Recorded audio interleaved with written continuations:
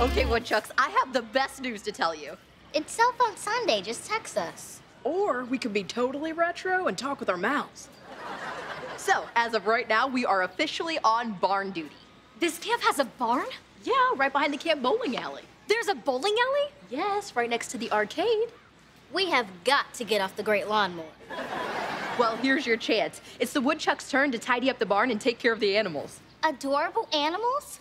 I am so in. Back home, I had a zebra, a giraffe, and a pig. If you count Luke.